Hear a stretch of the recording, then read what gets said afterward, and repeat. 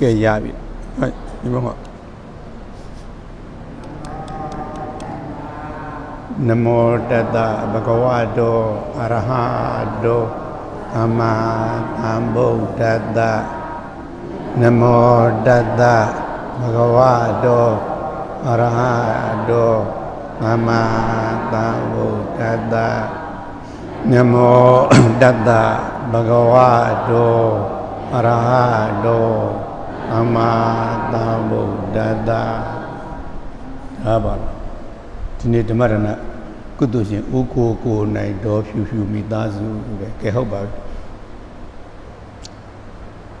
ဒီနေ့တတိပဌာနာတုတ်ဒုတိယနေ့ပေါ့နော်ဝါရင်တရားတော့ဒါကိုယ်တည်းမှာရှိမတ် ကိုကြည့်မြတ်တတိပဌာနာတုတ်တဲ့မြတ်စွာဘုရားရဲ့အဆုံးမတော်အယတနည်းအားဖြင့်မြတ်စွာဘုရားရဲ့အလိုအယလောကကြီးမှာငြိမ်းချမ်းခြင်း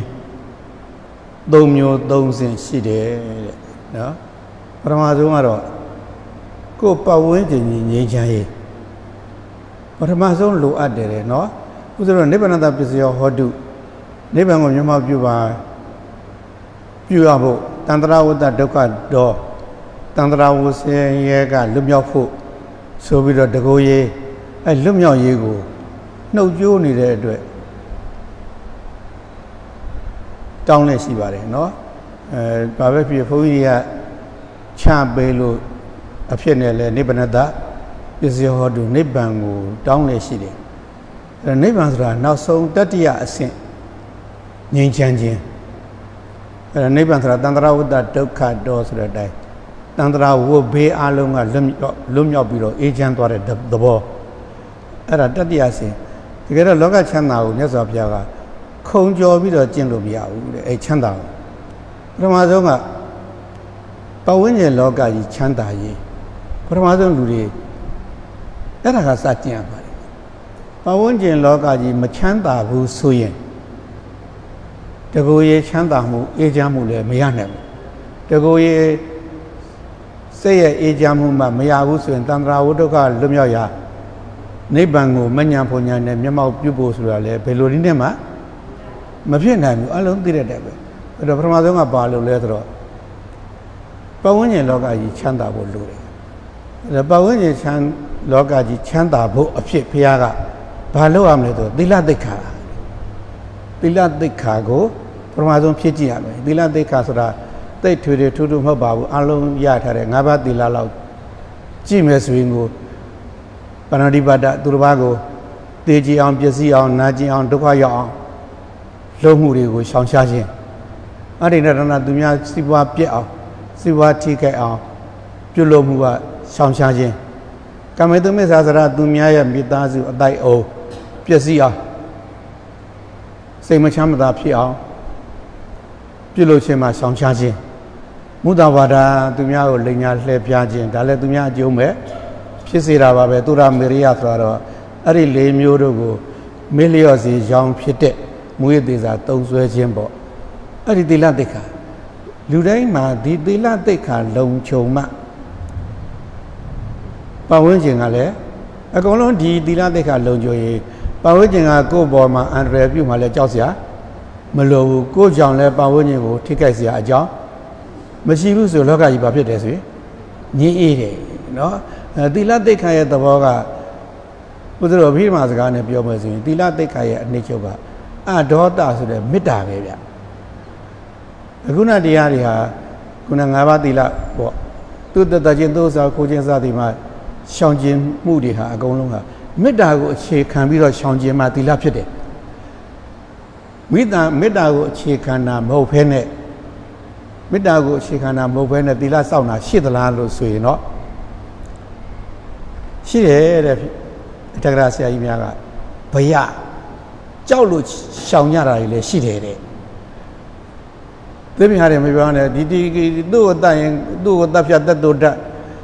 အဲ မတတ်အသက်ရှည်ဆိုရင်သူ့ကိုကတတ်ဖြတ်ရင်ကိုယ်လည်းသူများတတ်ဖြတ်ပြီးတော့အသက်တိုးလိမ့်မယ်ဟဲ့အသက်တိုးမှကြောက်လို့ဒီလိုနည်းနဲ့အဖြစ်ရှောင်တာဆိုရင်ဒါမေတ္တာမပါဘူးမေတ္တာမပါရင်ဒီသီလကလည်းစစ်မှန်တဲ့ငြိမ်းအေးမှုကိုမရဘူးဟုတ်လားသူကကိုယ်ကိုပြန်တတ်မှကြောက်လို့လားရှောင်တယ်ဆိုတော့မတတ်တော့ဘူးကိုကနိုင်လောက်တယ်ဆိုရင်ချချင်ချမဲ့သဘောအဲ့လိုနည်းနဲ့လောကကြီးကမငြိမ်းချမ်းနိုင်နော်ငြိမ်းချမ်းဖို့ဆိုရင်သီလသိက္ခာအခြေခံပဲသီလသိက္ခာရဲ့အခြေခံတရားဟာ သီလသိက္ခာရဲ့အနှစ်ချုပ်ပေါ့တရားကိုတရားကပါလဲဆိုရင်တော့အဒေါသဆိုတဲ့မေတ္တာပဝန်းကျင်ကိုဆက်ဆံရေးမှာအဲ့ဒါမေတ္တာဟာအရေးကြီးဆုံးပဲအဲ့တော့တိပိကရောဆရာတော်ကြီးကတော့ဒီလိုလင်္ကာလေးစီထားတယ်တယောက်တည်းပင်စွန့်အင်အပြည့်တဲ့လို့ပြီးတတိဖြစ်နာနေတဲ့သူဟာတယောက်တည်းတဲ့လို့ရှိရင်တဲ့လို့ခြင်းဘာဖြစ်တော့သတိနဲ့ဖြစ်နေ အကုန်လုံးခန္ဓာရဲ့ပြတ်ကျက်တွေကိုသတိနဲ့လိုက်မှတ်နေမနေဘူးဆိုရင်လူဟာကိုယ်တယောက်တည်းကိုမတည့်ဘူးကိုယ့်ကိုယ်ကိုရန်တွေ့နေရတာဒီခြေထောက်နဲ့ရန်တွေ့ရတယ်ဒူးနဲ့ဥစဉ်ဆိုဒူးနဲ့တော်တော်ရန်တွေ့ရတယ်တခါခါခါနဲ့ရန်တွေ့ရတယ်ဟာလမ်းလျှောက်လို့က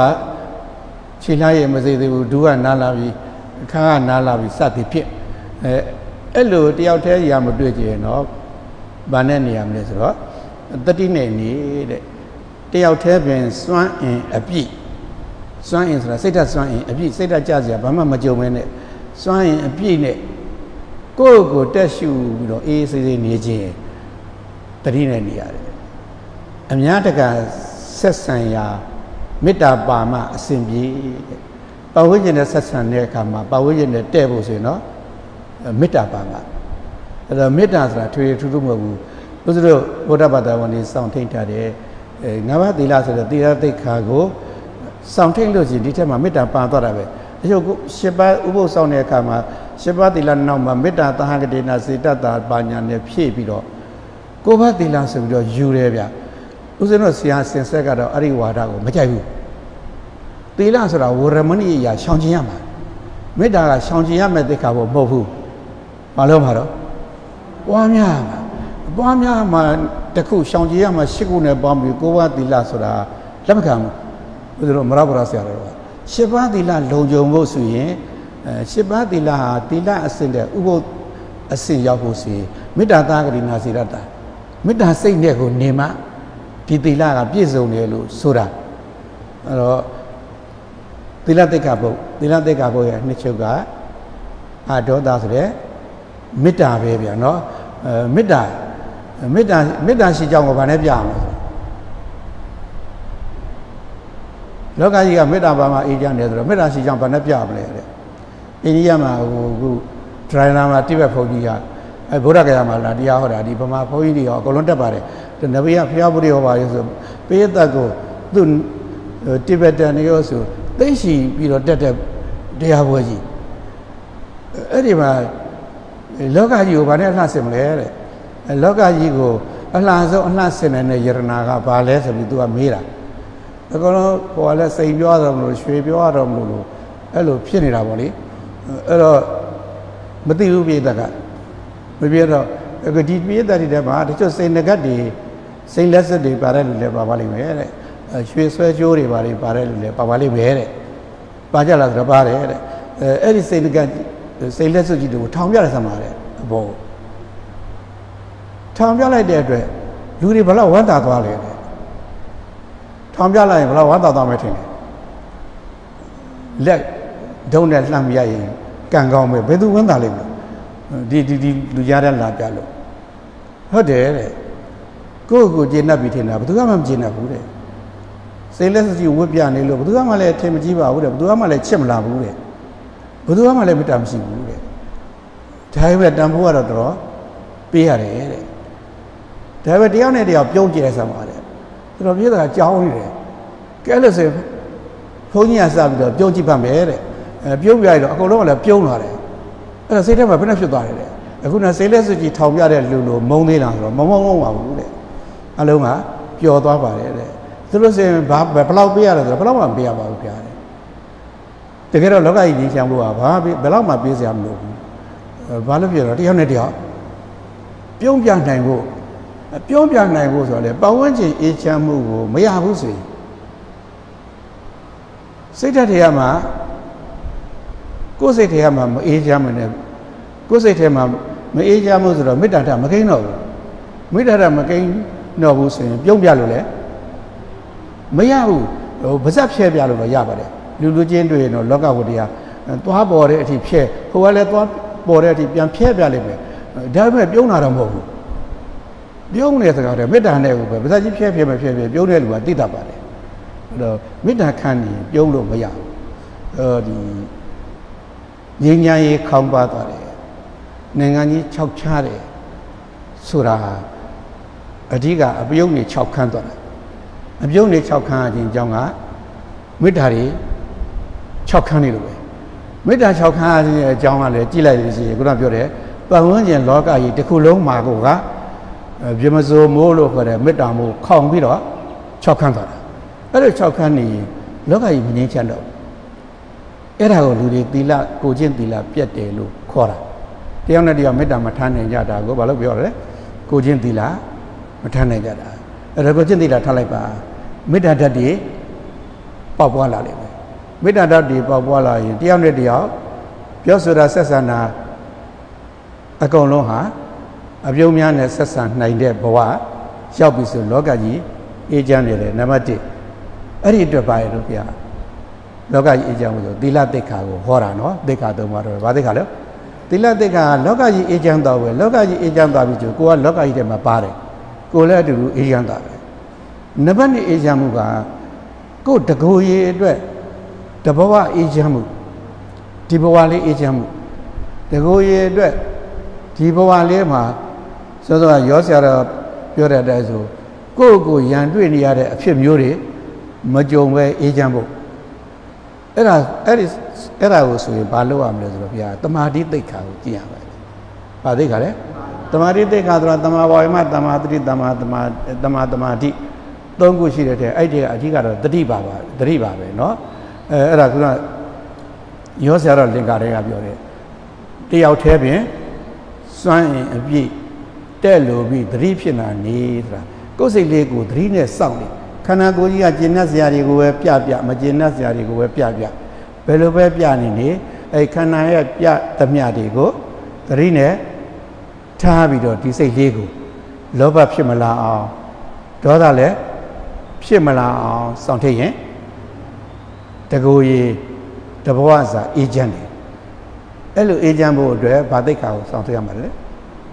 တမာတိသိက္ခာနော်သိက္ခာ၃ပါးပဲအစဉ်သိက္ခာ၃ပါးအကြောင်းပြောတာပဲတမာတိသိက္ခာနောက်တတိယအစဉ်ကတော့တကဝရေမှာဒီတန္တရာဝုဒုက္ခအားလုံးကလွတ်မြောက်ဖို့လွတ်မြောက်ပြီးတော့ချမ်းသာဖို့အဲ့ဒါဆိုရင်တော့အားလုံးသိတဲ့အတိုင်းနောက်ဆုံးသိက္ခာဖြစ်တယ်ဘာတော့ပညာသိက္ခာနော်အဲသတိပဋ္ဌာန်နီးနဲ့ဝိပဿနာပညာကစပြီးတော့ဟလာမဲ့ပညာဟိုပညာကြီးကျင့်နိုင်ပြီဆိုရင် နိဗ္ဗာန်ကိုမျက်မှောက်ပြုတဲ့အတွက်တန်ត្រာဝဋ္ထုကလည်းဘာဖြစ်မလဲဗျာလွတ်မြောက်မယ်လို့အဲ့လိုပြောတာပါအဲ့ဒီလိုသုံးစင်သုံးလွှာရှိတဲ့ချမ်းသာတွေကိုတဆင့်ချင်းတဆင့်ချင်းတလွှာချင်းတလွှာချင်းအပြည့်အဝခံစားနိုင်ဖို့ဘုရားရှင်ကတိတ်ခါကိုသုံးစင်သုံးလွှာဟောခဲ့တယ်ပထမပါလဲဗျာသီလတိတ်ခါကိုယ့်ပတ်ဝန်းကျင်ကြီးအေးချမ်းဖို့ပြီးရင်တမာတိတိတ်ခါ တကူရေဒီတဘောစာအေးချမ်းဖို့ပြီးရင်ပညာတိတ်ခါဒါကတော့တကူရေတန်တရာဝတ္တုခအလုံးကလွတ်မြောက်အေးချမ်းမှုဒါတော့အေးချမ်းမှုဆိုတာတဲ့ပဲဝိမု ക്തി ရတ္တဆိုတဲ့စကားအရလွတ်မြောက်သွားဖို့လို့သုံးပါတယ်အဲစားထဲမှာလဲတန်တရာဝတ္တဒုက္ခတော့တန်တရာဝဆင်းရဲကလွတ်မြောက်ခြင်းလို့ပဲသုံးတယ်နောက်ဆုံးပညာသိက္ခာတော့เนาะအဲအဲ့ဒီသိက္ခာရဖို့အတွက် ကျင့်နည်းရပါလဲဆိုရင်ကျင့်နည်းရတော့ဒီတတိပဋ္ဌာန်တရားပဲ။ဘာတရားလဲဗျာတတိပဋ္ဌာန်တရားမှာတတိပဋ္ဌာန်၄ပါးပြောခဲ့တယ်ကာယကာယ ानु ပတနာတတိပဋ္ဌာန်ကာယအပေါ်မှာအဲတတိနဲ့စိတ်ဝင်စားနေခြင်းပေါ့နော်ဝေဒနာ ानु ပတနာဆိုတာလေကိုယ်ခန္ဓာကိုယ်ကခံစားရတဲ့ချမ်းသာတဲ့ဆင်းရဲတဲ့ပူရဲအေးတဲ့နားတဲ့ကြိုက်တဲ့အစရှိတဲ့ဝေဒနာတွေကိုပါတော့တတိနဲ့ စူးစပ်ပြီးတော့မှတ်သားခြင်းပါပဲအဲစိတ်တ ानु ပတနာဆိုတာတော့ကိုယ်စိတ်မှာဖြစ်နေတဲ့စိတ်လေးကတော့ဒီတန်းလေးပဲကြာသိစိတ်လေးရိုးရိုးပဲဒါပေမဲ့အဲသူ့ကိုမှီးနေတဲ့စိတ်မီစေတသိက်တေပေါ်မှာတီးပြီးတော့စိတ်ကအမြည်တွေအမျိုးမျိုးရတယ်ဗျလောဘစိတ်ကဥစည်းလောဘစေတသိက်ကဥစည်းရင်ဒီစိတ်ကိုလောဘစိတ်လို့ခေါ်တာဒေါသကဥစည်းသွားရင်ဒေါသစိတ်ပေါ့အဲမောဟဥစည်းရင်မောဟစိတ်ပေါ့ တခြားကိလေသာတွေဌိနမိတ်တာဥစည်းသွားရင်ဌိနမိတ်တာစိတ်ပေါ့မာနကဥစည်းရင်လည်းမာနစိတ်ပေါ့ဒိဋ္ဌိကဥစည်းသွားရင်လည်းဒိဋ္ဌိစိတ်ပေါ့နော်ဒါအိတ်တမစ္ဆေရာဥစည်းသွားတယ်အိတ်တာစိတ်မစ္ဆေရာစိတ်လို့သူတို့ခေါ်သွားတာပေါ့အဲ့လိုစိတ်ရဲ့အဲ့ဒီလိုဖြစ်တဲ့အခိုက်လေးတွေပေါ်မှာဖြစ်လာတိုင်းဖြစ်လာတိုင်းအပေါ်မှာလည်းပဲလောဘစိတ်ဖြစ်နေရင်လောဘစိတ်ဖြစ်နေပြီဒေါသစိတ်ဖြစ်နေရင်ဒေါသစိတ်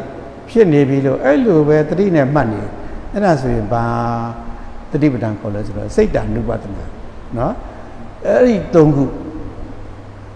အဲ့ဒီ၃ခုဆိုတာကာယ ानु ပဒနာဝေဒနာ ानु ပဒနာစိတ်တ ानु ပဒနာဒီ၃ခုကလောကရဲ့တတ်မှတ်ချက်အမြင်ပညာတွေနဲ့တွဲသုံးတာဗျ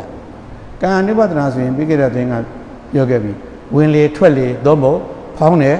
ပိန်တယ်ဆိုတဲ့အမြင်ပညာတွေနဲ့တွဲမှားတာပညာအကူနဲ့မှားတာအဲတမထဆန်တယ် တကယ်တော့ဒီဒီသတိပဋ္ဌာန်ကြီးကတမထပဲနောက်ဆုံးဓမ္မနုပဒနာကသဘောတရားလေးကိုရှုရတာအဲ့ဒါဝိပဿနာအစစ်ပဲအဲဝိပဿနာစစ်မှနောက်ဆုံးမဉ္ဇဉ်ပူညာကိုရနိုင်တဲ့အနုပဒနာဖြစ်ပါဒါပဲအဲ့ဒီဟာကိုစပြီးတော့ရှုလို့မရဘူးအထင်ရှားဆုံးကစရှုဆိုတော့ပြီးကြတဲ့အပတ်ကကာယ ानु ပဒနာကာယ ानु ပဒနာတွေမှာအာနာပါနအကြောင်းပြောပြီเนาะအဲ အာနာပါနဒီဒီအစတတိမြေယံပထမအဓုမှာရှေတိုတိလုံးစုံလင်းရာတတ္တိယာစမှာငိမ့်လေပြီတို့ဘာလို့ကြက်ချင်တော့ကြက်တာပေါ့ဒါပေမဲ့အဲ့ဒါကြီးလိုက်စရာတော့မလိုဘူးအထက်ကရာဆရာကြီးကဘာပြောလဲဆိုတော့ဒီ level တွေကငါ့ကိုဖမ်းတဲ့ blind တကောင်ဟာဒီလက်တစ်ခွက်လုံးလိုက်ပြန်နေလို့ဘယ်တော့မှမိနိုင်ဘူးတဲ့အဲ့တော့တလဲဒီ level တွေမှာရှိသမျှငါဟာဂရုဘောက်တစ်ပေါက်ကစုထွက်မှာအဲ့ဒီဂရုဘောက်ကစောင့်ပြီးတော့ဖမ်းရင် အေးစစ်စစ်မိကိုမိတယ်တက်လာတဲ့ငါ့ကိုလည်းမိမယ်ဆင်းသွားတဲ့ငါ့ကိုလည်းမိမယ်အဲ့ဒီတိုင်ပဲတဲ့အနာပါနကိုနှာသီးပြနှာခေါင်းဝါးတာစောင့်ပြီးတော့တတိနဲ့ဖမ်းပါဝင်ရင်ဝင်မှန်းသိတယ်ထွက်ရင်ထွက်မှန်းသိတယ်ဆိုရင်လားအဲဂရုပေါက်ကစောင့်ဖမ်းတဲ့ပြိုင်းဟာငါးဟုသူများမိတယ်လို့ပေါ့လို့ငါးကိုမလွတ်တမ်းမိတယ်လို့ပေါ့ငါးတွေအကုန်လုံးတော့မိမအောင်ပါဘူးသူချီနေတော့မဟုတ်ပါဘူးအဲ ငါးကိုမိနိုင်လို့ဒီပုဂ္ဂိုလ်လည်းနှာသီးပြားကဝင်နေထွက်တယ်ကိုစောင့်ပြီးတော့သတိနဲ့ဖမ်းရင်အနာပါနာတတိပဋ္ဌာန်ရတယ်အဲ့တော့အဲ့ဒီမှာတကယ်အထုတ်ကြည့်ရင်ပထမဆုံးဝင်နေထွက်တယ်လို့ဒီလိုရှုနေမှာပဲမှတ်နေမှာပဲမှတ်ဖို့လားမသိဘူးတရားထိုင်နေနော်ဒါပဲ10မိနစ်လောက်မခံဘူးဗျာဒီစိတ်ကဒီဒီတိုင်းပဲဟိုစိတ်ကဒီပထကရာဆရာနရိုင်းနဲ့ ဥပမာပြတော့တာတော်မှန်းနေနရိုင်းများကဖမ်းချီလိုက်ရင်တအားယုံတာလွတ်ထားရင်တော့ယုံတာမဟုတ်တော့ဘူးလွတ်ထားရင်ဘယ်ယုံလိမ့်မလို့သူကသူနေချင်းလို့နေလို့ရတာပဲဖမ်းချီလိုက်ရင်တော့ယုံတယ်ဒီစိတ်ကလည်းဒီတိုင်းပဲဗျာသူကသူလွတ်ထားရင်တော့မယုံဘူးဘယ်ယုံလိမ့်လို့သွားညာသွားတာအဲ့ဒါတတိနဲ့ဖမ်းပြီးတော့ခြိလိုက်တယ်ဆိုတာနဲ့တပြိုင်တည်းတည်းဝင်နေထွက်တယ်လို့မှတ်တယ်ခဏပဲအဲတချို့10မိနစ်တောင်မခံဘူး10မိနစ်ခံရင်တော့တော်တော်သူရဲကောင်းပဲခြေနေကောင်းနေပြီ မခံဘူးတခါတည်းပြန်ပြီးတော့ပြေးတော့တာပဲပထမဆုံးတော့ဘယ်ကိုပြေးတတ်တော့စီအပြင်ကိုထွက်ပြေးတတ်ပါတယ်ဘယ်ကိုပြေးတတ်တော့အပြင်ကိုထွက်ပြေးတတ်တယ်အတွင်းကိုလည်းပြေးနိုင်ပါတယ်အတွင်းကိုကြတော့ဘယ်ခံမျိုးမှပြေးနိုင်လို့ထိုင်ထိုင်ချင်းမပြေးဘူးဗျထိုင်ထိုင်ချင်းကအပြင်ကိုပြေးတာအာဟိုအမတ်ရပါမီဒီဟာအမတ်ရပါမီဘာမလို့ပါသေးဘူးအဲ့ဒီချိန်မှာစိတ်ပြီးပြေးနေမှာ အဲ့လိုပြေးနေတဲ့စိတ်ကဘာဖြစ်နေလဲဆိုတော့အဲ့ပြေးနေအပြင်ကိုပြေးရင်အပြင်လောကကြီးနဲ့တွေ့ရမယ်အဲ့အပြင်လောကကြီးဆိုတာအကျယ်ဝန်းကြီးကဘာနဲ့ရှိပြီးတော့စဉ်းစားမိတယ်အပြင်လောကကြီးဆိုတာနှစ်ခုပဲရှိတယ်လောကကြီးနှစ်ခုပဲရှိတယ်လောကကြီးပဲနှစ်ခုရှိတော့ဘာလဲဆိုတော့ကျင်တ်ဆရာနဲ့မကျင်တ်ဆရာကိုတူဘူးတော့အပြင်ကိုစဉ်းစားကြည့်ပါ နောက်ဆုံးစင်းချုပ်လိုက်ဘာနဲ့ပါလဲကျင်တ်ဆရာနဲ့မကျင်တ်ဆရာအဲ့ဒီစီတစ်ခုခုစီရောက်သွားမှာပဲအဲ့တော့ကျင်တ်ဆရာစီရောက်သွားလိုက်တာနဲ့ဘာဖြစ်လဲဆိုတော့ကျင်တ်တယ်ဆိုရယ်လောဘဒီစိတ်မှာရောက်လာပြီ အဲ့တော့ဒီစိတ်လေးကရိုးရိုးစိတ်လေးမဟုတ်တော့ဘူးကျင်납စရာအာယုန်နဲ့တိုးလိုက်တာနဲ့လောဘစိတ်ဖြစ်သွားတယ်။ဘာစိတ်ဖြစ်တော့လောဘစိတ်တခါတခါတခါတခါဟုတ်ပါဘူးเนาะဗမာပြည်သားတွေကတော့ အများစုကတော့မကျေနပ်စရာရှိရောက်လိုက်ပြီမကျေနပ်စရာရှိရောက်လိုက်တာနဲ့ဘာတွေဖြစ်ကုန်လဲအဘိမာစကားပြောလို့မရဘူးအရာစကားနဲ့ပြောမယ်ဆိုတေချင်းစိုးတွေဘာတွေအထိရောက်တော့မှာပေါ့နော်အဲ့တော့အဘိမာလို့ပြောရင်ဒေါသစိတ်ဘာစိတ်လဲဒေါသစိတ်အဲ့တော့မကျေနပ်စရာရှိရောက်တာနဲ့ဒေါသနဲ့တိုးတယ်ဒေါသနဲ့တိုးလိုက်တာနဲ့ဒီစိတ်လေးကဒေါသစိတ်ဖြစ်သွားတယ်အဲ့လိုဖြစ်သွားရင်လေအဲဒီစိတ်ကနေရိုင်းရှိသလိုပဲ ဒါမှမဟုတ်စိတ်ကိုများတာငါးများလို့ပဲနဲ့တူတယ်သူကယုံအားတန်းနေကျိုးကိုလျှော့ပြရတယ်ကျိုးကိုသူသွားရပဲကိုအတိလျှော့ပြရတယ်အခုလည်းပဲဒီစိတ်လေးကယုံအားတန်းတာခုမှစပြီးတော့ကျင့်တာကိုနော်ယုံအားတန်းတယ်အပြင်ကိုထပ်ပြီးခုနလောဘစိတ်ဖြစ်နေပြီဒေါသစိတ်ဖြစ်နေပြီဆိုရင်လေဘုရားကဆောက်မဆွဲလိုက်နဲ့တဲ့ပြတ်သွားလိုက်ပဲနော်အဲ့ဒါဘာလို့ရလဲဆိုတော့အဲ့ဒီစိတ်သွားရနောက်ကိုလိုက်လိုက်ပြီးတော့ သူဖြစ်နေတဲ့အတိုင်းရှိသူဖြစ်နေတဲ့အတိုင်းရှိလောဘစိတ်ဖြစ်နေရင်လောဘစိတ်ဖြစ်နေတယ်လို့ပဲသတိနဲ့ရှိဒေါသစိတ်ဖြစ်နေရင်လည်းဒေါသစိတ်ဖြစ်နေတယ်လို့ပဲရှိကျန်တဲ့စိတ်တွေလည်းရှိပါတယ်စိတ်ဖြစ်ပုံတွေ16မျိုးလောက်တော့ပြပါတယ်ဒါပဲအများဆုံးကဒါပါပဲအဲ့ဒီကျရင်စိတ်ဓာနုပဒနာဖြစ်သွားတယ်။ဘာဖြစ်သွားတော့စိတ်ဓာနုပဒနာဖြစ်သွားတယ်စိတ်ကိုရှုရတာဖြစ်သွားပြီခုနထွက်လေဝင်လေလေးပုံမှာမရှိဘူးဘာလို့လဲဒီစိတ်လေးကထွက်လေဝင်လေလေး တိုးရထိရဖြစ်တယ်နှာသေးပြားပါမနေဘဲနဲ့ဘယ်လိုနေလို့တော့အပြင်ကိုပြေးလို့အပြင်ပြေးရလိုက်တဲ့ခါတော့ဘာစိတ်တွေဖြစ်တာများရတော့လောဘစိတ်တွေဒါမှမဟုတ်ဒေါသစိတ်တွေဘာဖြစ်လို့တော့အပြင်မဲ့အပြင်လောကကြီးဆိုတာကနှမျိုးပဲရှိတာဘာနဲ့ပါလဲကျဉ်းနှက်စရာနဲ့မကျသိမခဲရဲမှုမှတ်ထားတော့အဲ့ဒါလေးတွေဥစ္စာကအလွယ်ဆုံးတတိပရဏတော်ကြီးကိုအလွယ်ဆုံးပြောနေတာပဲအလွယ်ဆုံးဘလို့အရက်သုံးစကားနဲ့ပဲပြောတာ အဲအဲ့လိုရှိလိုက်လို့တတိကနောက်ကကောက်ကောက်ပါအောင်လိုက်လာပြီဆိုတဲ့ခါကျတော့လीဒီစိတ်လေးကအခုနဲ့နှာသိပြမှာတတိနဲ့ထားပြီးတော့ဝင်လေထွက်လေမှတ်နေတယ်ဆိုတာကကလေးငယ်တယောက်ရှောက်လဲနေတဲ့ကလေးငယ်တယောက်စအကြောင်းထားလိုက်သလိုပါပဲအဲအကြောင်းထားရမယ်ထားကသာတော့သားခက်ခက်ခက်ခက်မတင်ဘူးလေအပျော်သဘောမျိုးဝင်ရင်ဝင်တယ်ထွက်ရင်ထွက်တယ်ဆိုတော့သူမစိုးဘူးဒါပေမဲ့ကြာကြာတော့မနေဘူးကလေးထုံတာ အဖော်ပေါင်းရှိရာအပြင်ကိုပြေးသူဒီစိရလည်းဒီစိလေးကလည်းသူ့ရဲ့အဖော်ပေါင်းရှိရာအပြင်ကိုပြေးတယ်စိတ်ရဲ့အဖော်ပေါင်းဆိုတာဘာတွေလဲဆိုတော့ဘာတွေတော့ဆိုတော့ဒီစိတ်လေးကအခုဘောကမှကျွန်တော်ကသုက္ကတိလူပုံရောက်လို့လူစိတ်လို့နာမည်ရတာတန်ត្រာတစ်ချောက်လုံးကြီးကတော့ကုသိုလ်နဲ့ပေါင်းခွင့်ရတာမဟုတ်ဘူးဘာနဲ့စပေါင်းတာတော့ တန်ត្រာအစဒီစိတ်ဟာဘာနဲ့စပြီးတော့ပေါင်းတာတော့ဒီတောင်မြို့သားမောဂုဆရာတော်ကြီးရဲ့တရားကိုနည်းနည်းဖြစ်ဖြစ်ကြားဖို့မဲ့တင်လို့မေးတာအဝိဇ္ဇတနာဒွေမူလဆိုတော့မကြားဘူးလားအဘာနဲ့စပေါင်းတာအဝိဇ္ဇတနာဆိုတဲ့ကိလေသာနဲ့စပေါင်းတာ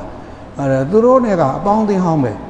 အဲ့တော့စိတ်လေးကဘယ်မှာပြောတော့ဆိုအဲ့ဒီကိလေသာတွေနဲ့ပေါင်းသိရတာပြောတာပဲ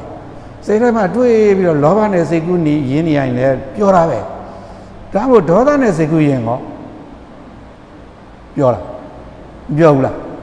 စိတ်ကူးရင်ဘူးလားဒေါသနဲ့ဒီကောင်လေးကတော့နှိမ့်နှုတ်နှုတ်သာစင်ပလိုက်ရရင်တော့ကွာဆိုတာမျိုးတွေအထိစိတ်ကူးရင်ကောမပြောဘူးလားဆိုတာ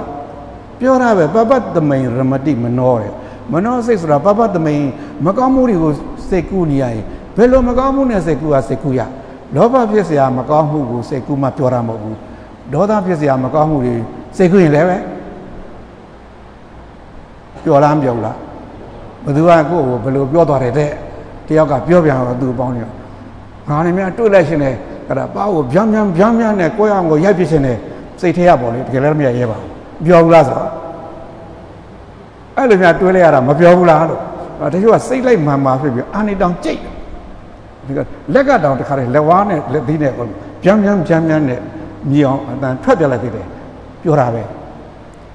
အဲ့တော့မကောင်းမှုကိုဘယ်လိုမကောင်းမှုနဲ့တွေ့ရတွေ့ရပပတ္တမိန်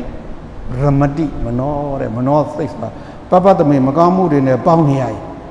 ဒါပဲသို့မဟုတ်မကောင်းမှုတွေပြုတ်လို့ရပြုတ်လို့ကြောင်းဖြစ်တဲ့ကိလေသာအပေါင်းဖော်တွေနဲ့ပေါင်းနေရရင်ဒါပြောတာပဲတဲ့အပြင်မှာနော်ဒါပဲနောက်ကတတိကလိုက်သွားပြီးတော့သူပြောနေတဲ့အတိုင်းပါပဲလောဘနဲ့ပေါင်းနေလည်းပဲလောဘနဲ့ပေါင်းတဲ့စိတ်လေးဖြစ်နေမှတ်မယ်ဒေါသနဲ့ပေါင်းနေဒေါသနဲ့ ပေါင်းတဲ့စိတ်လေးဖြစ်နေမှတ်မယ်ဆိုတော့ခုနကြောင်းပြတဲ့ကလေးကိုနောက်ကဆရာကဖြည်းဖြည်းလိုက်ချော့ပြီးတော့ခေါ်တယ်လို့လိုက်ချော့ပြီးတော့ခေါ်တာမဟုတ်ဘူးဗမာပြည်ဆရာတွေလို့ဒုက္ကန်ပြီးတော့လိုက်ခေါ်တာမဟုတ်ဘူးဘုရားကဘယ်လိုခေါ်မှာလဲတတိလေးနဲ့လိုက်ပြီးတော့ချော့ခေါ်မှာမင်းကလောဘနဲ့ပြောနေတာလားအေးဟုတ်တယ်အဲ့လိုဆိုရင်လည်းပြောပါလောဘဖြစ်နေတယ်လောဘဖြစ်နေတယ်ဒါရီတော့မှန်တော့ဒါပဲတင်တယ် အဲ့တော့ဘယ်ဖြစ်ဖြစ်သူကမလွတ်တော့အဲသူပြောရကိုအနုတ္တိယဘူမိကိုပညာဘူမိဖြစ်နေပြောင်းတယ်လို့မဟာစီဆရာတော်ကသုံးပါတယ်အနုတ္တိယဘူမိဆိုတာကိလေသာရဲ့တရားကြီးကိုပညာဘူမိဆိုတာပညာရဲ့တရားအဖြစ်ပြောင်းတယ်အခုတော့လောဘတွေဖြစ်နေတယ်လောဘစိတ်ဖြစ်နေတယ်ဆိုတာဘာရဲ့တရားလို့လဲကိလေသာရဲ့တရားအနုတ္တိယဘူမိလို့သုံးပါတယ်ဆရာတော်ကြီးကတော့နော်အဲ့ဒီကိလေသာတွေရဲ့ ပြောရာတရားကြီးကိုဘာရဲ့တရားဖြစ်အောင်ပြောင်းပါတော့ပညာရဲ့တရားဖြစ်အောင်ပြောင်းတယ်အဲ့လိုပြောင်းတဲ့အလုပ်ကိုတတိပဋ္ဌာန်လို့ခေါ်တာတော့ပါလားအဲ့တော့တတိပဋ္ဌာန်အထုတ်တဲ့ဆိုတာဘာလုပ်တာလဲလို့မေးရင်ကိလေသာရဲ့တရားအနုတ္တိယဘုံကြီးကိုဘူမိဆိုတာတရားပါပဲဘုံလို့ခေါ်ပါတယ်နော်လူဘုံဆိုတာလည်းလူတို့ရဲ့တရားနတ်ဘုံဆိုတာလည်းနတ်တို့ရဲ့တရားဘုံဆိုတာတရားလို့ပြောတာ အနုတ္တိယဘုံဆိုတာလည်းအနုတ္တိယကိလေသာတွေရဲ့တရားပါပဲအဲ့ဒီတရားအနုတ္တိယဘုံကြီးကိုဘာဘုံဖြစ်နေပြောင်းပါလဲပညာရဲ့တရားပညာဘုံဖြစ်နေပြောင်းတာအဲ့လိုပြောင်းတဲ့အလုတ်ကိုတတိပဋ္ဌာန်အလုတ်လို့ခေါ်တာတတိပဋ္ဌာန်အလုတ်ကဝင်လေထွက်လေလေးကိုဝင်နေထွက်တယ်လို့ရှုနေတာပေါ့ပေါ့လေးမထင်နဲ့ဘာလဲကိလေသာရဲ့တရားကြီးကိုပညာရဲ့တရားကြီးအဖြစ်နဲ့ပြောင်းနေတာ အဲ့ဒီတရားနေရာတည်ငြိမ်သွားပြီပညာအတွက်အေးသေးသေးထိုက်ရတရားရလို့နော်ထောက်နိုင်တည်နိုင်သွားပြီဆိုရင်ဝိပဿနာပညာဆင်ဆင်ကနေအဲမဲ့ဉဏ်ပူဉဏ်မဲ့ပညာပူပညာကြည့်ရောက်ရင်ဒီလိုအဲတတိယမြောက်ငြိအေးခြင်းဖြစ်တဲ့တန္တရာဝတ္တကမှာငြိအေးခြင်းကိုရောက်ဟုတ်ပြီခုနကစိတ်ကြီးကအပြင်ထွက်ပြတယ်လိုက်ခေါ်တော့အဲချော့ခေါ်တော့ပြန်ပါလာတာ ပါပဲပြန်ပါရင်မူလအကြောင်းမှာသူတင်နေကြဘာသာရပ်ကိုတင်ပေါ့အာနာပါနဝေလေထွက်လေဆိုနေဝင်နေထွက်တယ်ပဲရှုပ်ပေါ့အဲကြောင်းတန်ချော့ခေါ်လို့လဲဒါပဲထုံးစံတိုင်းမှာပဲကြောင်းပြေးနေကြကလေးကပြေးမှာပဲဒီဒီကကြာရင်တော့တော်တော်လေးထိုင်နာကြားလာပြီဆိုရင်အပြင်းမပြေးဘူးဗျအတွင်းကိုပြန်ပြေးတယ်ကိုယ်ကိုယ်ရဲ့ကိုဒီစိတ်ကြီးကပြန်ပြေးတယ်ဘာလို့မှတ်နေတာကသိနေတာကဘာတရားကဝင်နေ ထွက်တယ်ပဲမဲ့အဲတင်ပါကပူလာရင်ပူလာတယ်ခါကအောင်ရင်အောင်နေစီလုံးကနာရင်နာတယ်ဇက်ကြောကတင်းရင်တင်းတယ်ဆိုတဲ့ရောက်သွားတယ်အတွင်းကိုရောက်သွားတယ်အဲ့ဒီယောဂကိုဒါမှမဟုတ်အဲ့ဒီဝေဒနာကြီးနဲ့တိုးတာပူတယ်အေးတယ်ကြိုက်တယ်နားတယ်အောင့်တယ်ထုံတယ်စသည်စသည်ပေါ့နော်အဲအဲ့ဒါတွေအဲ့ဒါတွေကပါတယ်လေဝေဒနာပါတယ် ဝေဒနာတွေခုနခံစားနေရတာတွေကဘာလဲဝေဒနာတွေအဲ့ဒီဝေဒနာတွေရှိစိတ်ကြီးကပြေးသွားရင်လေသူပြေးတဲ့နောက်ကိုလိုက်ဒီမကြီးကပူလိုက်ခံဆိုရှိမှစိတ်ရောက်နေတယ်ဆိုရင်အဲပူတယ်ဆိုတဲ့ဝေဒနာပေါ်ရောက်နေပြီအဲပူတယ်လို့ပဲခံပူတယ်ပူတယ်လို့ခံစားနေရတာပဲပူတယ်ပူတယ်ဆိုတဲ့တိုင်းပဲမှတ်ဒါပေမဲ့အဲ့ကျတော့ခံစားမှုဝေဒနာကိုမှတ်သားရတာမလို့ဝေဒနာဥပဒနာလို့ပြောင်းသွားတယ် သူ subject ကပြောင်းသွားတယ်ဝေဒနာဥပဒနာအဲ့တော့အဲ့ဒါလည်းမှတ်နေလေကြောသူပြင်းရကိုတတိယမှတ်တော့တတိယကျောင်းဆရာကြီးလိုက်တာလို့ရှိရင်ကျောင်းပြတဲ့ကလေးကမနေရဲလို့ပြောတယ်ဒီစိတ်လေးကလည်းမပြေတော့အဲဆရာကြီးကိုတော့ပြန်လာတယ်နော်ဆရာကြီးကသူ့မူလဘာသာရဲ့အတိုင်းပဲဟောပြန်ရှိနော်ဝင်နေထွက်တယ်ဆိုတဲ့ကာနုပဒနာကိုရှိ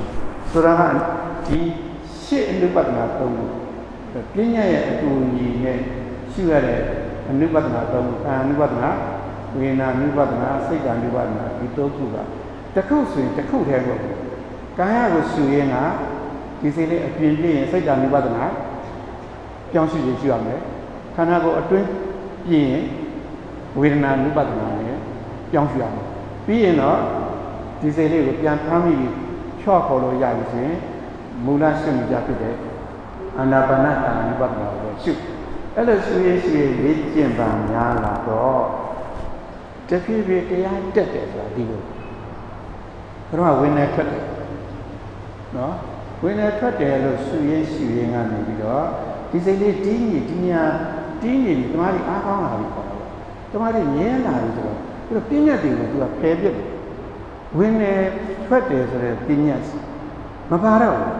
ဘူးဝင်လေလေးဝင်လာရင်လည်း ဒီနာလေးကြားလေးကိုထိတယ်ထွက်လေလေးထွက်လာရင်လည်းဒီနာလေးကြားလေးကိုလာထိထိတယ်လို့နာမည်တက်စရာမလိုထိနေတဲ့သဘောလေးအဲ့ဒါလေးပဲပေါ်နေတော့အဲ့ဒါဘာဖြစ်သွားလဲပညာခုနဝင်နေထွက်တယ်သို့မဟုတ်ဖောင်းနေပိန်နေဆိုတဲ့ပညာတွေပျောက်ပြီးတော့ဘာရလဲထိထိနေတဲ့သဘောလေးထိထိနေတဲ့သဘောလေးထိတိုင်းထိတိုင်းနဲ့သတိရှိတော့သိသိနေတဲ့သဘောလေး အဲ့တော့သဘောလေးတစ်ခုပဲရှိတော့ပါလဲထိနေတဲ့သဘောလေးနဲ့သိနေတဲ့သဘောလေးပဲအဲ့ပညာတွေပျောက်သွားတော့ဘာဖြစ်လဲသဘောလေးဖြစ်နေရောက်သဘောလေးဖြစ်နေရောက်တယ်အဲ့ဒါဓမ္မနုပဒနာနေတဲ့စရောက်တာဓမ္မနုပဒနာနေဆိုတာပရမတ်နေပညာနဲ့မဟုတ်ဘူးပညာကိုလွန်းလာတဲ့အနုပဒနာပါဏုပဒနာတော့ဓမ္မနုပဒနာဓမ္မနုပဒနာဆိုတာမြန်မာလိုပြောရင်တော့ သဘောလေးကိုသတိနဲ့စုစပ်ပြီးတော့မှားတယ်အနုပဒနာသဘောလေးကိုသတိနဲ့စုစပ်တယ်ဆိုတော့ထိထိထိနေတဲ့သဘောလေးအဲ့ဒါလေးကိုသတိနဲ့စုစပ်ပြီးတော့ထိတိုင်းထိတိုင်းထိတယ်ထိတယ်ထိတဲ့သဘောလေးထိတဲ့သဘောလေးဆိုတာသိတယ်အဲ့ဒါဆိုတော့ဘာနဲ့ပါလဲရှိလို့ဆိုတော့ထိသဘောလေးနဲ့သိသဘောလေးပဲရှိတော့သဘောလေးလို့ရှိသွားတယ်သဘောဆက်ဆက်ပရမတ်ရှိရတယ်ဗာလဲ သဘောဆက်ဆက်သဘောဆက်ဆက်ဆိုတာပြီးတန်လို့ပြောတတ်တန်တယ်ဒီသဘောလေးတတ်တတ်သဘောလေးတတ်တတ်ဆိုတာခုနအမြင်ပြည့်ညက်တယ်ဝင်တယ်တွေထွက်တယ်တွေဖောင်းတယ်တွေပိန်တယ်တွေဆိုတဲ့ပြည့်ညက်တယ်လုံးလုံးမရောပဲနဲ့သဘောလေးကြီးတတ်တတ်ဖြစ်တယ်ရှိရတယ်ဆရာတော်ကြီးကသဘောဆက်ဆက်လို့ပြောတယ်သဘောဆက်ဆက်ပရမတ္ထ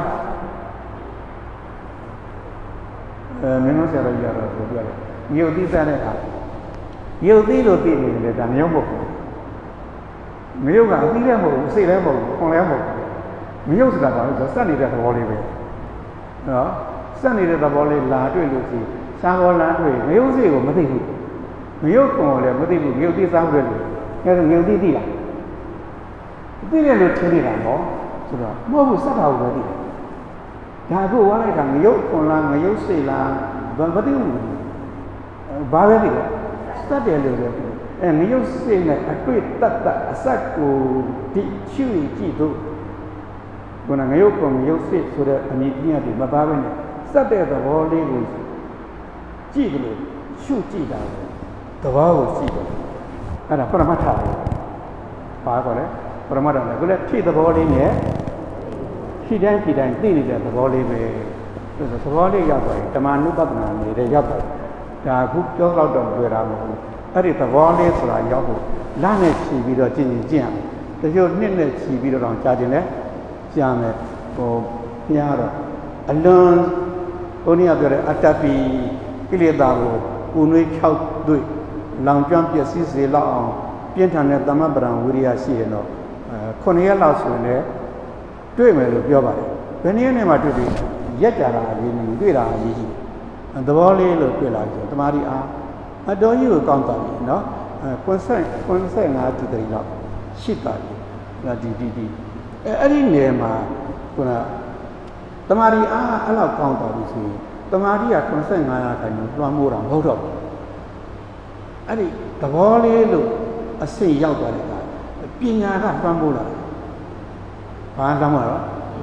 ပညာပျောက်လာတိုင်းပျောက်လာတိုင်းပညာက ပညာတရားပေါ့နော်အဲပညာခေါ်တဲ့အမှတ်တွေကတမာတိပေါ့အဲ့ဒါကနောက်ဆိုပြီးတော့သူကနေရာရပညာကနေရတယ်ဆိုတော့ဝင်နေထွက်တယ်ပေါက်နေပိန်နေဆိုရင်ဒါပညာကလွှမ်းမိုးနေတာပညာကလွှမ်းမိုးနေရင်ပညာကပဲနေရာယူထားမယ်အဲပညာကနေရာယူတာပဲတမာတိ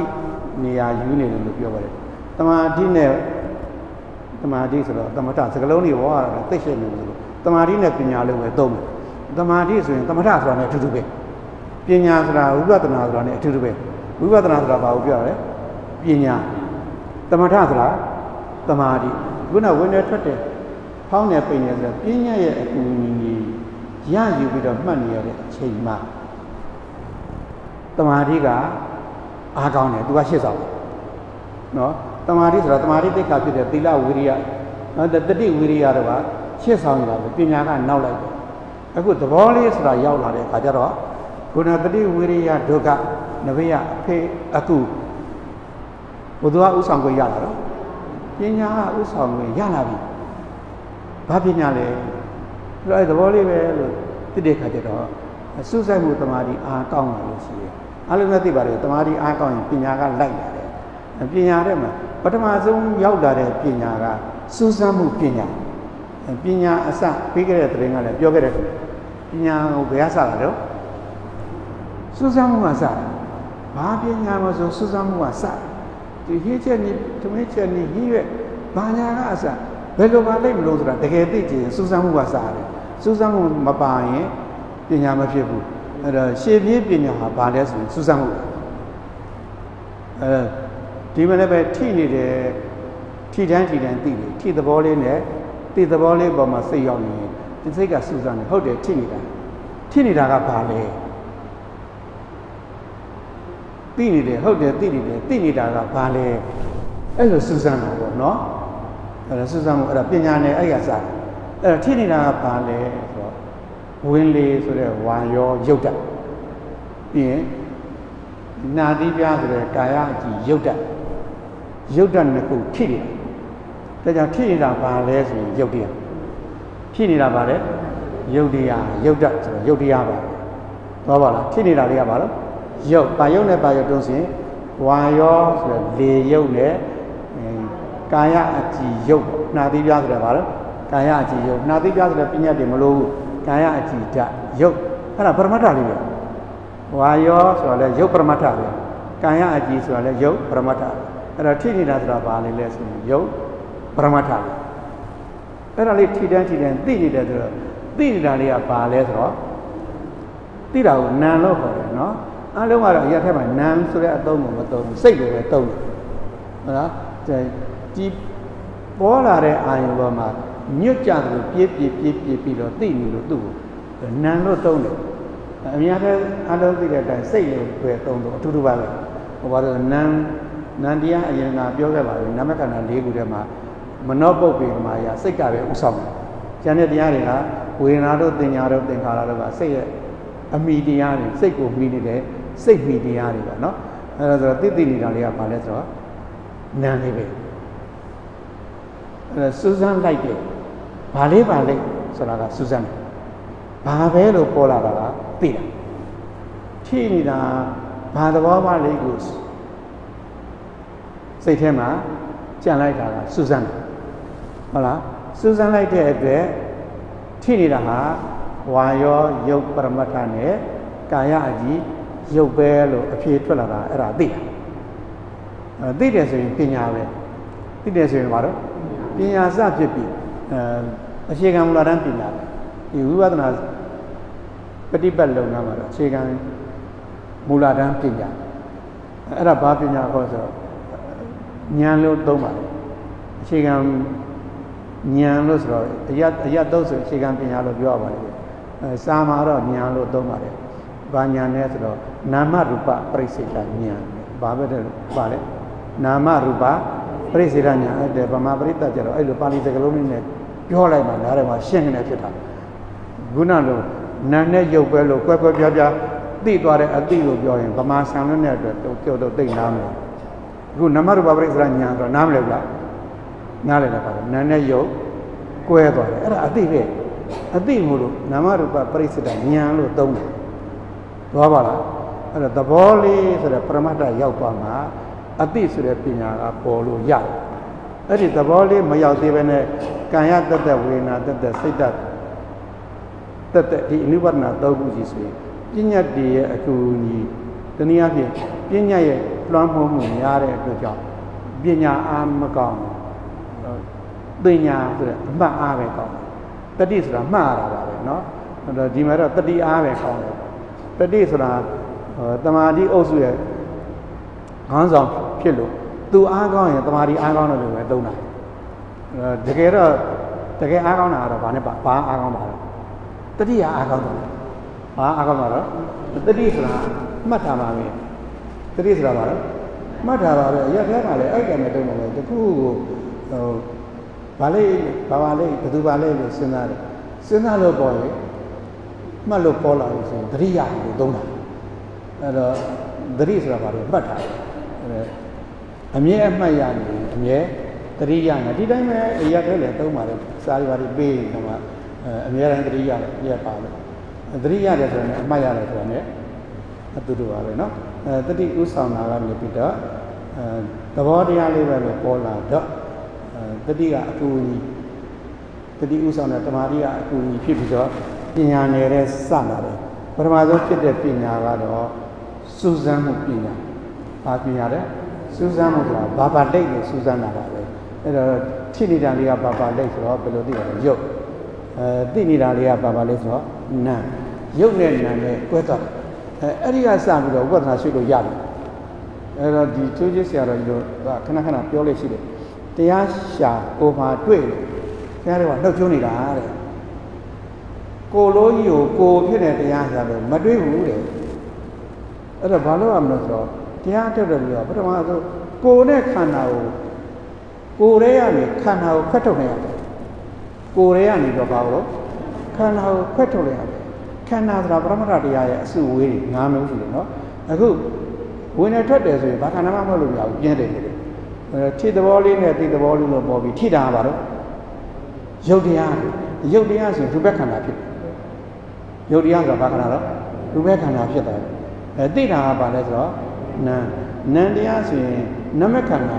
နမခန္ဓာဆိုအဲ့ကမှာ၄မျိုးပါတယ်သိတာနဲ့အတူတူအဲကျင့်စရာမကျင့်စရာလို့ခံစားတဲ့ခံစားတဲ့သဘောဝေဒနာလည်းပါတယ်အဲခံစားမှုရှိသလိုဒါလေးကကျင့်စရာလေး ဒါကမကျင့်စရာပဲလို့မှတ်သားတဲ့သဘောတင်ညာလဲတင်ညက်ခန္ဓာလည်းပါတယ်เนาะပြီးရင်ဒါလေးကျင့်စရာလေးကိုဆိုရင်တော့ရအောင်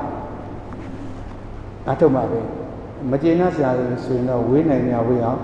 အထုံးမှပဲလို့သူတို့စိတ်ကူးတဲ့ကြံစည်တဲ့သဘောမျိုးလည်းပါတယ်အဲ့ဒါသင်္ခါရခန္ဓာအဲ့တော့သိတယ်ဆိုတဲ့သဘောထဲမှာတော့ခန္ဓာဘယ်နှပါးရှိတော့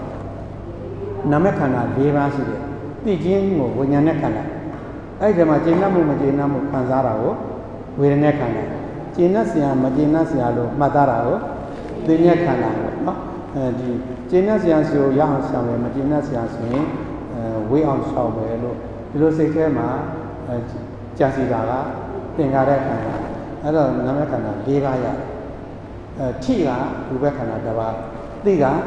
နာမခန္ဓာ၄ပါးအဲ့လိုပေါ်လာရင်ရုပ်နဲ့နာကွက်သွားတယ်ပရမတ်နယ်ရဲ့ရောက်သွားပြီအဲ့ဒီကြမှာတရားရှုလို့ရတာအဲ့တော့ပထမဆုံးက ကိုယ်နဲ့ခန္ဓာနဲ့ကိုကွဲရတယ်ဒီကိုကြီးကံ ानु ပဒနာဆိုမယ်ကံ ानु ပဒနာဒဲကအခုဘယ်ကိုဘာကိုကွက်ထုတ်တယ်လို့ခန္ဓာ၅ပါးကိုကွဲထုတ်တယ်ထိထိဆိုတဲ့ရုပ်ဧက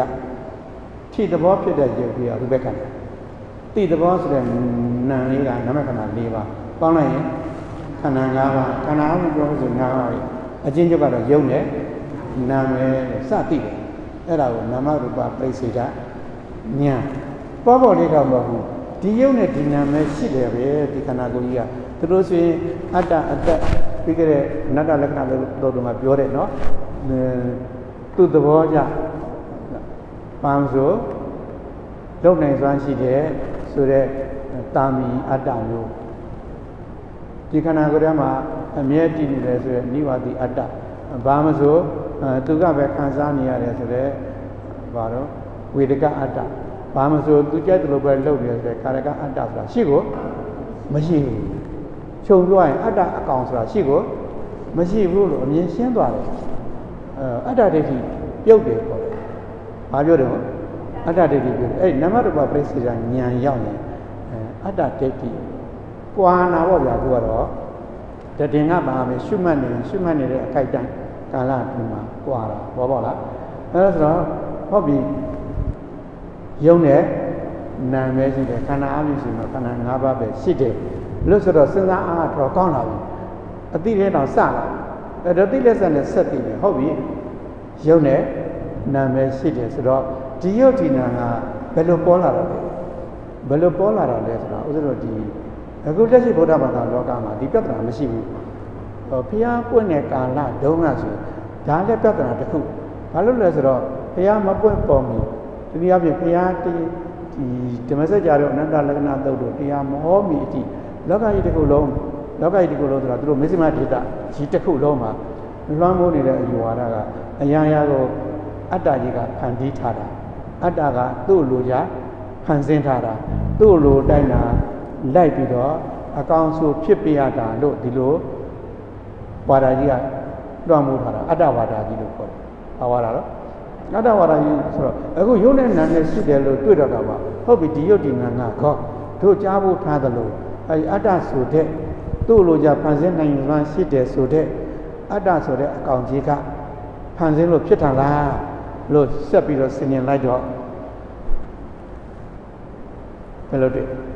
ထိတာလေဘာလို့ထိဝင်းလေးလေးရှူသွင်းလိုက်လို့လဲထိ ထွက်လေထွက်လေလေရှိုက်ထုတ်လိုက်လို့လဲထိဘာသူမှလမ်းပွင့်နေတာမဟုတ်အဲဝင်းလေးကိုမရှူဘူးရက်ထားမယ်ဆိုရင်ဘသူကလာပြီးတော့ဝင်လေမပါပဲထိအောင်ဖန်ဆင်းလို့ရတယ်မရဘူးအဲ့ဆိုဟာဘာသူကမှဖန်ဆင်းလို့မဟုတ်ဘူးဝင်လေထွက်လေ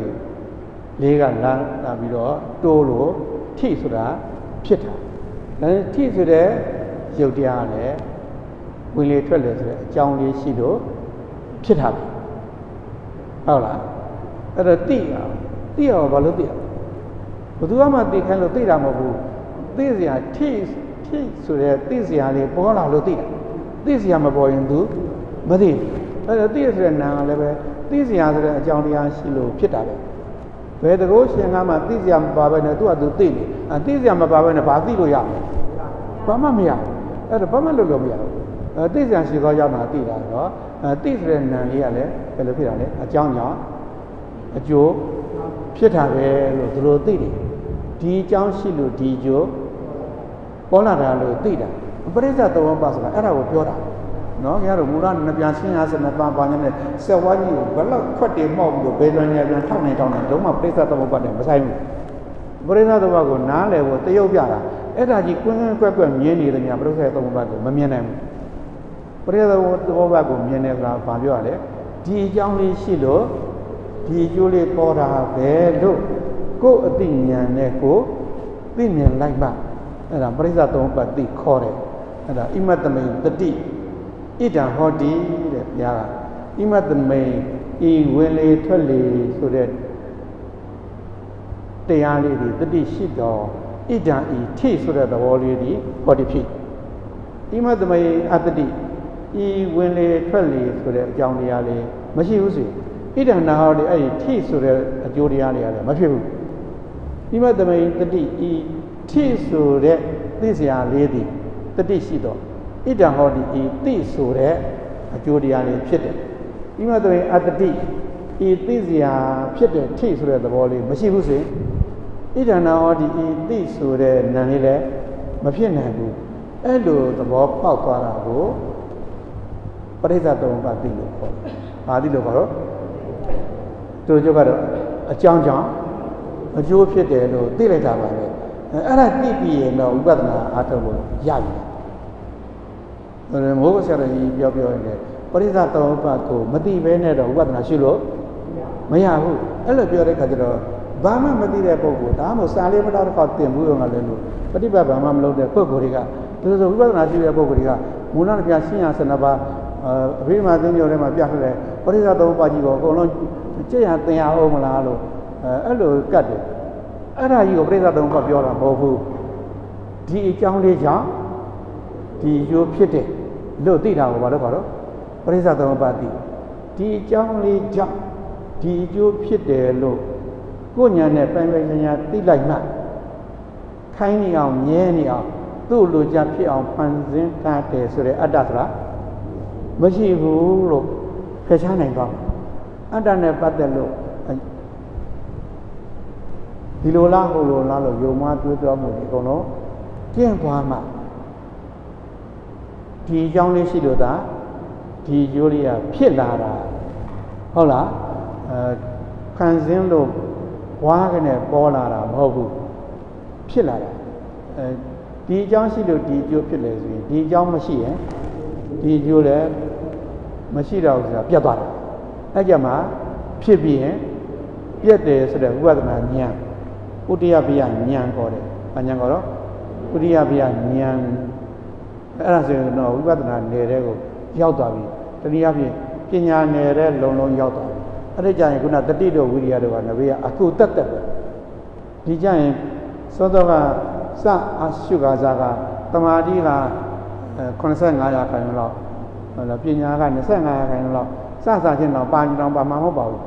နော်ဆရာခဏလောက်ဖြစ်ဖြစ်မယ်အဲ့ဒီကတဖြည်းဖြည်းသမာဓိအားကောင်း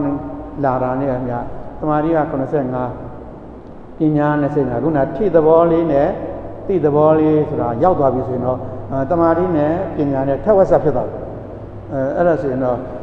ပညာ၈ပဲရောက်လာပြီနော်အဲ့တော့ဒီအကြောင်းလေးရှိလို့ဒီအကျိုးလေးဆိုရင်တော့ဒါပညာ12ပဲရောက်ရောက်လာ ဒါကြောင့်ဒီအကြောင်းလေးရှိလို့ဖြစ်တယ်ဒီအကြောင်းလေးမရှိတော့ပြတ်သွားတာပဲလို့သိပြီဆိုရင်တော့ပညာ16ပဲရင်တော့နေရတော့ရောက်ပြီပြန်တော့မပြည့်သေးဘူးဆိုရင်တော့အနည်းဆုံး14ပဲရင်တော့ရှိမယ်ဝိပဿနာနောက်ဆုံးသင်္ဃာရုပ္ပကဉာဏ်ရောက်လို့ရှိရင်တော့16ပဲရင်ပြည့်သွားပြီဗျ16ပဲရင်ပြည့်ရင်တော့ဝိပဿနာလို့မခေါ်တော့ဘူးမဉဏ်ကိုဉာဏ်လို့ခေါ်တော့တယ်နော်16ပဲရင်ပြည့်ရင်ပြည့်သွားတော့မဲ့ဉာဏ်ကိုဉာဏ်ဒီနည်းအားဖြင့်မဲ့ပညာ ကိုပညာအစဉ်ရတော့တတိပ္ပံရဲ့ရည်ရွယ်ချက်ကအဲ့ဒါပါတော့အာနုပဒနာအာနာပါနကိုအဓိကပြောပါတယ်ဒါပေမဲ့အာနာပါနတွေမကဘူးဒီအာနာပါနကတတ်မှတ်ထားတဲ့အရင်တစ်ပတ်ကပြောခဲ့တဲ့ခံရမယ်ဆံရင်ဆံညွန့်တိုင်ထိုင်မယ်ညောင်းလာပြီဆိုရင်ဒုတိယမြောက်ဒီကာယနဲ့ပတ်သက်လို့အထင်ရှားဆုံးတတိရဲ့လောက်ကွက်ပေါ့နော်တတိပဒနာပါတော့ဣရိယာပဒလည်း သွားတယ်တန်းတယ်ပေါ့အဓိကတော့နော်ဣရိယာပုတ်၄ပါးရှိရမယ်အဓိကအထင်ရှားဆုံးကတော့ဘာလို့အဲတို့ရိတ်တာတွေမှာဆိုဈဉ္ဉံကမ္မထံပေါ့အဲလမ်းနဲ့ကမ္မထံပေါ့နော်လမ်းချင်းဣရိယာပုတ်အဲ့ဒီမှာလည်းပဲ၃ခုပဲပြောခဲ့ပါတယ်အဓိကပြီပရမသစသာရင်တော့လမ်းနဲ့လမ်းနဲ့ပဲမှတ်အကျဲဆုံးပဲအဲလမ်းနဲ့လမ်းနဲ့မှတ်လို့တော်တော်လေးအားကောင်းလာပြီဆိုရင်တော့တဆင့်တို့ပါလဲဆိုရင်တော့ လမ်းမရတဲ့ခြေထောက်မြောက်တယ်အောက်ကိုချတယ်မြောက်တာကိုကြွတယ်လို့သုံးတယ်ပေါ့နော်ကြွတယ်ချတယ်ဒီနှစ်ခုပဲပေါ့နော်အဲ့ဒီပို့ပြီးတော့အားကောင်းလာရင်အကြွနဲ့အချကြတယ်မှာလမ်းတယ်ဆိုတာရှေ့ကိုလွှဲလိုက်တယ်နော်မြောက်တယ်လွှဲတယ်ချတယ်ဒီသုံးခုတော့မှတ်နေရပြီအဲ့ဒီတမာဒီအားကောင်းလို့နည်းနည်းစိတ်ရှင်တော့အောက်ချလိုက်ရင်အောက်အခင်းနဲ့ခြေထောက်နဲ့ထိသွားတယ်အဲ့တော့ ကြွတယ်လွဲတယ်ချတယ်ထိတယ်အဲဒီလေးချက်အထိတ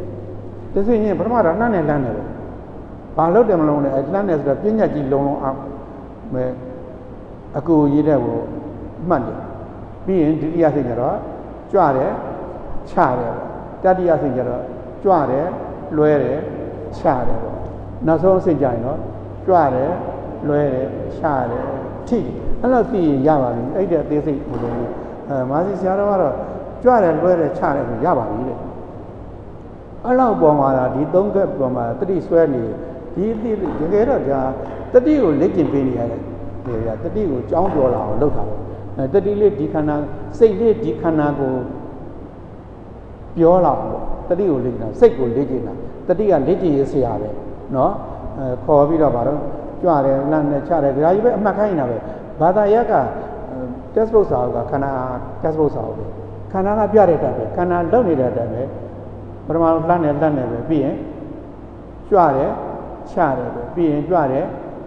လွဲတယ်ချတယ်ပဲအဲအဲ့လောက်သိရပါဘူးအဲအဲ့လိုလဲရှိလို့ရပါတယ်ကာနုပဒနာမှာကိလေသာကိုတိုက်ဖို့ဒီနှစ်ခုပါပဲဒါပေမဲ့တခြားရိတ်တန်တွေပါတယ်တရားစခန်းဝင်ရတော့တခြားအချိန်ဆိုတာရှိတယ်ကိုယ်ပိုင်ရှင်တွေရောက်လို့ရှင်လဲကိုလို့ချင်တာလက်မှာပါပဲ အဲကိုလက်တုတ်တင်ခြင်းရေချိုးခြင်းပါညာအဲဒီပေါ်လေးသွားခြင်းစားခြင်းတောက်ခြင်းအကုန်လုပ်ပါလိမ့်မယ်အဲအဲ့ဒီလိုလုပ်လို့ရှင်လည်းပဲအဲ့ဒီလုပ်တွေကိုလည်းပဲအထွေတွေလုပ်ပါအထွေတွေလုပ်တွေကိုလည်းတတိထားနေတယ်အဲ့ဒါကိလေသာကိုတိုက်ဖို့မဟုတ်ဘူးပဲတတိထားနေရင်ကိလေသာမဝင်နိုင်ဘူးကာဝယ်အဲ့ဒါတော့ကာကွယ်ရေးတတိပဋ္ဌာန်ပါပဲတံပစင်ညပတ်ပတ်လို့ခေါ်တယ်အထွေတွေလုံးသမျှစစာထဲမှာတော့ရှေ့ကိုသွားသည်ဖြစ်စေနောက်ကိုဆုတ်သည်ဖြစ်စေဟိုဒီဒီကြည့်သည်ဖြစ်စေ အဲအဝတ်အထည်ကိုပြင်ဝတ်သည်ဖြစ်စေစားစရာအကန်ခွက်ရောက်ကိုကင်သည်ဖြစ်စေစားသည်ဖြစ်စေအဲပြီးရင်အဲအငြိအကျေးစွန့်သည်ဖြစ်စေရေတောက်သည်ဖြစ်စေအဲစကားပြောသည်ဖြစ်စေနောက်ဆုံးအိယာဝင်သည်ဖြစ်စေအိငိုက်ရှင်ကြည့်နော်ယာဝတ္တတထိနမိတ်တော်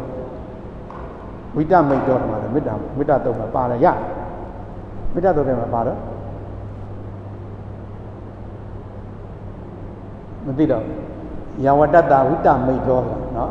နောက်ဆုံးအိပ်ပျော်ကံကြီးအထိပဲဒီတော့နောက်ဆုံးအိပ်ပျော်ကံကြီးအထိဘာလို့ရမှာတော့တတိထားနေဘာအကျိုးရှိလို့ဆိုတော့အဲ့ဒါတော့ကိလေသာတွေနဘေးရကိလေသာတွေဝင်မလာကာကွယ်တာပေါ့အဲ့ဒါတော့ကာကွယ်ရေးတတိပံပါပဲเนาะကာနုပဒနာအဲ့လောက်ပါပဲဝေဒနာနုပဒနာကလည်းအတွေ့အထိမပါဘူးခန္ဓာကပြတယ်ကျင့်နှက်စရာမကျင့်နှက်စရာကိုသိတဲ့အတိုင်းမှတ်မှတ်ပါကျင့်နှက်စရာကိုဒုက္ခဝေဒနာလို့ခေါ်လိုက်ပဲ မကျင့်နှက်စရာကိုလည်းဒုက္ခဝေဒနာလို့ခေါ်လိုက်ပဲဒါပေမဲ့အရာထဲမှာဒုက္ခဝေဒနာဒုက္ခဝေဒနာလို့မသုံးဘူးဗျစိတ်ထဲအတိအရာဆိုကျင့်နှက်တာနဲ့မကျင့်နှက်တာပဲအခေါ်ရဆိုရင်ပူတာအောင့်တာကြိုက်တာခဲတာဖြစ်မယ်မကျင့်နှက်စရာတွေကကျင့်နှက်စရာတွေကတက်တောင့်တက်တာလေးဖြစ်နေတာဖြစ်မယ်နော်အဲအဲ့ဒါကိုလည်းအဲ့ဒီတိုင်ပဲမှတ်ဒါဝေဒနာနုပဒနာဟုတ်ပါတယ်အဲ့ဒါအခြေခံနုပဒနာနှစ်ခုကအရင်တစ်ပတ်ကပြောခဲ့တဲ့အတိုင်းကျတို့မောဟစရာသူပြောတဲ့လူတွေရဲ့ ပညာနဲ့အခုတနည်းအားဖြင့်ကိတ္တတာခိုအောင်တည်မြာအနုတ္တိယဘူမိကနေပညာရဲ့တည်မြာပညာဘူမိအခုဟာအဲ့ဒီကဆက်ပါတယ်အဲ့တော့ပညာနယ်တဲ့ရောက်ရင်ဆက်ပြီးတော့ပညာပွားဖို့အတွက်စိတ်တန်နုပဒနာနဲ့ဓမ္မနုပဒနာကိုနောက်ကျန်တဲ့သတင်းတွေမှာပြီးအောင်တော့ဟောမှာကြာနော်ကဲဒီနေ့တော့ဓမ္မကြီးပြပါတာ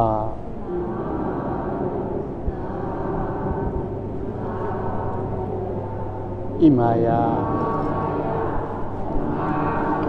ဓမ္မဟုတ်